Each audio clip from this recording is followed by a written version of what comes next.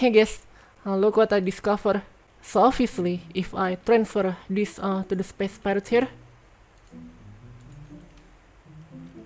it will get detected by the turrets and get shot.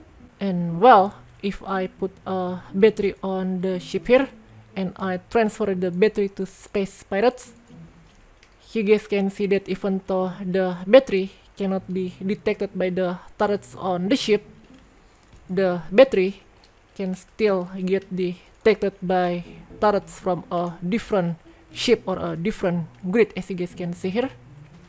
There we go. But well, watch this. If I put a survival kit here, and then I transfer the survival kit to the space pirates,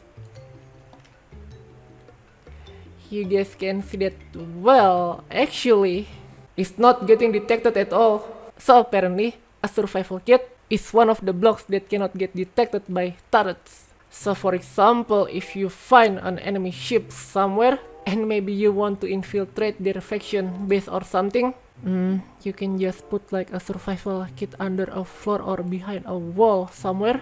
Make sure it's not shown in terminal or any other place as well. And well this survival kit most likely won't get detected by the enemy.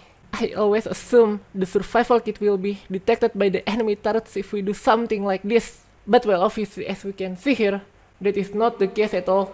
Say, that's how it's actually that simple to hide or respawn point on an enemy ship or an enemy base on Space Engineers. Hmm.